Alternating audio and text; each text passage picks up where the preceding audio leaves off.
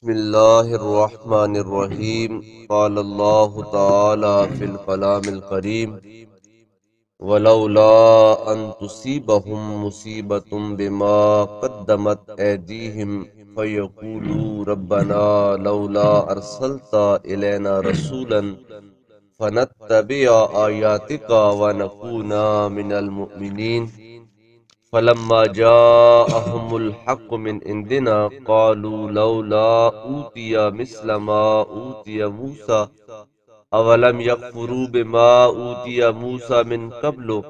قالوا سحران تظاهرا وقالوا انا بكل كافرون. آمنت بالله، صدق الله العظیم قابل احترام، حضرات، نمازی حضرات، بزرگوں اور دوستوں سورہ القصص کی آیت نمبر سنتالی اور اٹھتالی تلاوت کی ہے۔ اللہ تعالیٰ نے ان نجات بینات میں گزشتہ آیت بینات کے ساتھ متصل جو مضمون بیان ہو رہا ہے، اس کا تذکرہ فرمایا۔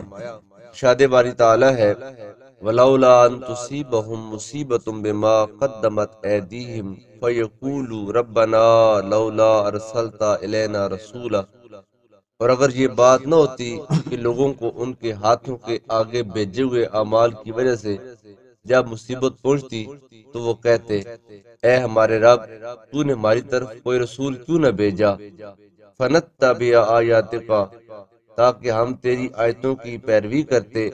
وَنَكُونَ مِنَ الْمُؤْمِنِينَ اور ہم اہل ایمان میں سے ہو جاتے۔ اس آیت کا مطلب یہ ہے کہ اگر کسی قوم کی طرف رسول بھیجنے سے پہلے ہی ان کے کفر اور گناہوں کی وجہ سے ان پر اللہ تعالیٰ کی طرف سے کوئی سختی آ جاتی یا ان پر اللہ تعالیٰ کا عذاب نازل ہو جاتا، تو وہ لوگ یہ عذر پیش کر سکتے تھے کہ اے اللہ، ہم پر سختی اور عذاب نازل کرنے سے پہلے تو نے ہماری طرف کوئی رسول کیوں نہیں بھیجا؟ تاکہ ہم تیری دلیلوں کو مانتے اور اپنے رسول پر جو خطاب تو تو نے نازل کی اس کی آیتوں کی پیروی کرتے۔ صرف تیرے ہی معبود ہونے پر ایمان لاتے اور تیرے رسول کی احکامات اور ممنوعات میں تصدیق کرتے۔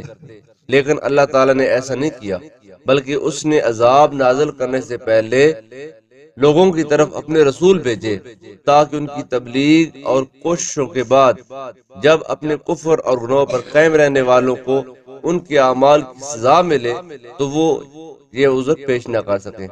اللہ تعالیٰ کی یہ سنت اور طریقہ کار رہا ہے کہ اللہ تعالیٰ نے ہر قوم، ہر قبیلے کی طرف پہلے اپنے رسولوں کو مبوس فرمایا، ان رسولوں نے اللہ تعالیٰ کے احکامات کو لوگوں کے سامنے پیش کیا اور بہت محنت کی لوگوں کے اوپر تاکہ لوگ کفر سے نکل کر اللہ تعالیٰ کی وادانیت کے نور کے حلقے میں آ جائیں۔ خوش نصیب اور سعادت مند لوگوں نے اللہ کے نبیوں کے احکامات کو مان کر اللہ کا قرب پایا۔ لیکن جن لوگوں نے اور جن قوموں نے اللہ کے نبیوں کو ستایا، تکلیفیں دی اور ان کے احکامات پر عمل نہ کیا، تو کوئی قومی نوح کی طرح تباہ ہو گیا، کوئی قوم عاد کی طرح تباہ ہو گیا، کوئی قوم سمود اور قوم لوت کی طرح تباہ برباد ہو گیا۔ اللہ پاک فرماتے ہیں، ایسے ہی ہم نے کفار مکہ کی طرف بھی اپنے پیارے محبوب جناب محمد مصطفیٰ صلی اللہ علیہ وسلم کو مبوس فرمایا۔ حضور احمد عالم صلی اللہ علیہ وسلم سے پہلے جو نبی تشریف لائے تھے، ان کا نام حضرت عیسیٰ علیہ السلام ہے۔ اور عیسیٰ علیہ السلام اور سرکار دو عالم صلی اللہ علیہ وسلم کے درمیان پانچ سو اکہتر سال کا گیپ ہے۔ پانچ سو اکہتر سال پہلے عیسیٰ علیہ السلام کو اللہ تعالیٰ نے آسمان پر اٹھایا، پھر پانچ سو اکہتر سال تک کوئی نبی کوئی رسول نہ آیا اور یہ جو درمیان کا سارا زمانہ گزرا ہے، اس زمانے کے باوجود پچھلی آیت کریمہ میں اللہ تعالیٰ نے یہ فرمایا تھا، اے محبوب، ہم نے آپ کو کیسی قوم کی طرف بھیجا ہے کہ جن کے ابو اجداد کو بھی کسی ڈرانے والے نے نہیں ڈرایا تھا۔ آپ ان کو ڈرائیں تاکہ یہ لوگ یا وہ آپ کے ڈرانے کی وجہ سے سیدھے راستے پر آ جائے۔ یقینی بات ہے، پانچ سو اکہتر سال ایک بہت بڑا وقت ہوتا ہے۔ اتنی، اس وقت میں کتنی قومیں اور کتنی نسلیں آئیں اور چلی گئیں جن کو کوئی ڈرانے والا نہ آیا اور وہ جاہلیت کے زمانے میں رہے، بتوں کے سامنے ساتھ جھکاتے رہے۔ تو پانچ سو اکہتر سال کے بعد اللہ کے پیارے محبوب جب اس کائنات میں جلوہ گار ہوئے، تو اللہ پاک فرماتے ہیں کہ ہم نے کفار مکہ کو دیگر پچھلی قوموں کی طرح جیسے ان کی طرف ہم نے اپنے رسول بھیجے تھے۔ ہم نے کفار مکہ کی طرف اپنے شان والے رسول کو مبوس کیا تاکہ وہ ان کے سامنے ہماری آیتوں کی تلاوت کرے اور ان کے سامنے اس حجت کو مکمل کر دے تاکہ کل قیامت والے دن یہ لوگ یہ اعتراض نہ کر سکے کہ ہماری طرف تو رسول آئی کوئی نہیں تھا۔ ہم نے آپ کی طرف بھی دیگر قوموں کی طرف رسول بھیج کر اس تمہارے عذر کا دروازہ بند کر دیا ہے۔ فلما جاءهم الحق من عندنا پس جب ان کے پاس حق آ گیا ہماری طرف سے یعنی جب کفار مکہ کے پاس ہمارے پیارے محبوب صلی اللہ علیہ وسلم تشریف لے آئے اور قرآن آ گیا قالو تو وہ لوگ کہنے لگے، لولا اوتی مثل ما اوتی موسیٰ، جیسے موسیٰ علیہ السلام کو کمالات دیے گئے تھے، ایسے ان کو کمالات کیوں نہیں دیے گئے؟ اولم یغفروا بما اوتی موسی من قبل؟ کیا وہ موسی علیہ السلام کو جو دیے گیا تھا، اس کا پہلے انکار نہیں کر چکے؟ قالوا سحران تزارا، وہ تو بولے، یہ دونوں جادوگر ہیں، یہ دونوں جادو ہیں۔ وقالوا انا بكل کافرون، اور کفار بولے کہ ہم تو ان سب کا انکار کرتے ہیں۔ اس سے پہلی آیت میں بیان کیا گیا کہ خوف کے وقت کافر کہیں گے کہ اے ہمارے رب، تو نے ہماری طرف کوئی رسول کیوں نہ بھیجا؟ تاکہ ہم تیری آیتوں کی پیروی کرتے۔ اور اس آیت میں رسول اللہ صلی اللہ علیہ وسلم کو بھیجے جانے کے بعد کفار مکہ کا حال بیان کیا جا رہا ہے۔ چنانچہ شاہ فرمایا، جب کفار مکہ کے پاس ہماری طرف سے جناب محمد مصطفیٰ صلی اللہ علیہ وسلم تشریف لے آئے، تو انہوں نے کہا، اس نبی کو اس جیسا کمال کیوں نہیں دیا گیا؟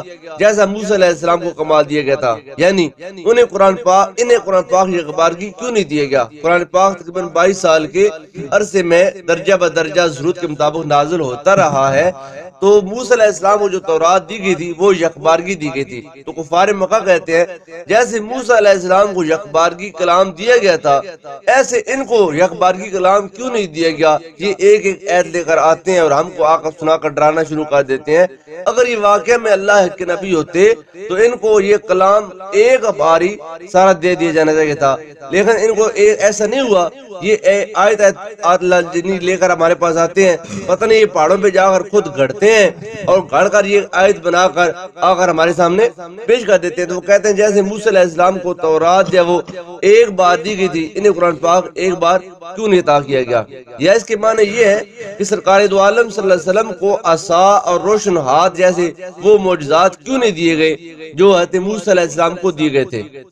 اس کا پس منظر یہ ہے کہ یہودیوں نے کفار قریش کو پیغام بھیجا کہ وہ نبی پاک صلی اللہ علیہ وسلم سے حضرت موسیٰ علیہ السلام کے سے معجزات طلب کریں۔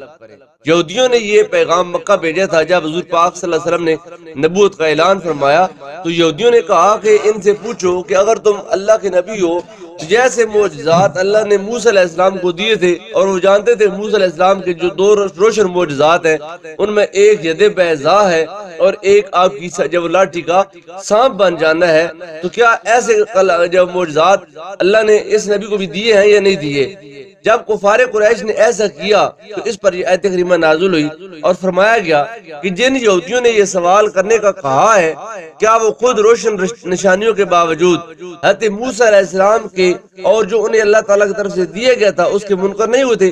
یعنی کہ وہ کمالات دیکھنے کے باوجود بھی یہودی ایمان نہیں لائے تھے موسیٰ علیہ السلام پر اور انہوں نے موسیٰ علیہ السلام کو کھلا جادوگر کہا تھا۔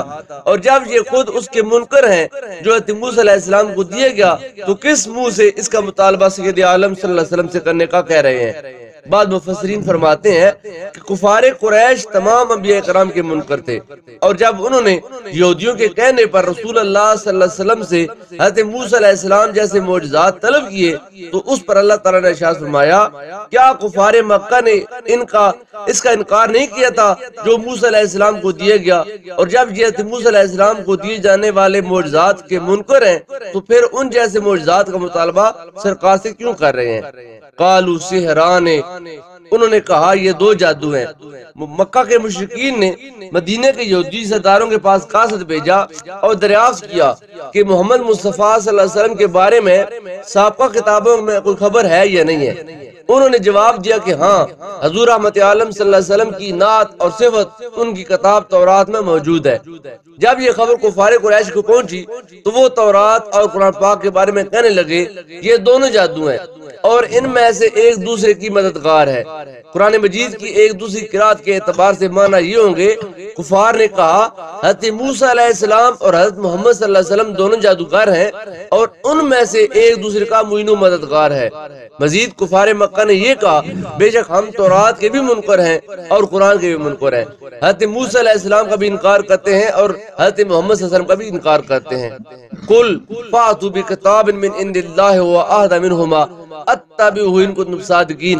اے میرے پیارے محبوب صلی اللہ علیہ وسلم، آپ ان کفار مکہ سے کہہ دیں کہ اگر قرآن اور تورات دونوں جھوٹے ہیں یا منکر ہیں یا یہ جادو ہیں، پھر تم اللہ تعالیٰ سے کوئی ایسی کتاب لے آؤ جو ان سے زیادہ اچھی ہو اور ان سے زیادہ سچی ہو اور ہم اس کی اتباع کر لیں گے، پیروی کر لیں گے۔ یعنی اگر تم ہمارے اس قرآن کو جھوٹا کہتے ہو اور قرآن کو جادو کہتے ہو تو پھر ہم تم کو کہتے ہیں کہ تم اللہ کے بارگاہ میں دعا کرو۔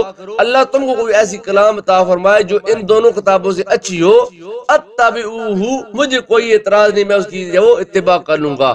فَإِلَّمْ يَسْتَجِيبُوا، پھر اگر وہ جواب نہ دیں یا وہ ایسا کلام نہ لا سکیں لَقَا فَعْلَمْ أَنَّمَا يَتَّبِعُونَ أَهْوَاءَهُمْ، تم اے میرے پیارے محبوب، آپ جان لیجیے، وہ ماز اپنی خواہشات کی پیروی کر رہے ہیں۔ ومن ادلو ممن اتبع ہوا بغیر ہدن من اللہ اس بندے سے بڑا گمراہ کون ہے جو بغیر کسی ہدایت کی اپنی خواہشات کی پیروی کرتا ہے؟ ان اللہ لا یہد القوم الظالمین اللہ ظالم قوم کو ہدایت نہیں دیتا۔ اس آیت اور اس کے بعد والی آیت کا خلاصہ یہ ہے کہ کفار مکہ کے انکار کرنے پر اللہ تعالیٰ نے ارشاد فرمایا اے حبیب صلی اللہ علیہ وسلم آپ ان کافروں سے فرما دیں۔ اگر تم اپنے اس قول میں سچے ہو کہ تورات اور قرآن پاک جادو ہیں تو اللہ تعالیٰ کے پاس سے کوئی ایسی کتاب لے آؤ جو ان دونوں کتابوں سے زیادہ ہدایت والی ہو۔ اگر تم ایسی کتاب لے آئے تو میں اس کی پیروی کر لوں گا۔ یہاں یہ تنبیہ فرمائی گئی کہ کفار ایسی کتاب لانے سے بالکل عاجز ہیں۔ چنانچہ اگلی آیت میں ارشاد فرمایا کہ اے میرے پیارے محبوب صلی اللہ علیہ وسلم، پھر اگر وہ کفار یہ تمہاری بات قبول نہ کریں اور ایسی کتاب نہ لا سکیں تو آپ جان لیں کہ یہ کفر کی جس سواری پر سوار ہے اس کی ان کے پاس کوئی حجت نہیں اور کوئی دلیل نہیں ہے۔ اور بس وہ اپنی خواہشات کی پیروی کر رہے ہیں۔ حالانکہ اس سے بڑھ کر گمراہ کوئی نہیں ہے جو خلاف ہدایت اپنی خواہشات کی پیروی کرتا ہے۔ بے شک اللہ تعالیٰ ظالم لوگوں کو اپنے دین کی طرف ہدایت نہیں دیتا۔ اللہ تعالیٰ کی بارگاہ میں دعائے اللہ تعالیٰ مجھے اور آپ سب قرآن پاک کا صحیح صحیح فہم نصیب فرمائے۔ قرآن پاک پڑھنے والا قرآن کی تعلیمات پر عمل کرنے والا اللہ پاک ہم سب کو بنائے۔ آمین۔ بجاہ نبی الامین۔ وآخر دعوانا ان الحمدللہ رب العالمین۔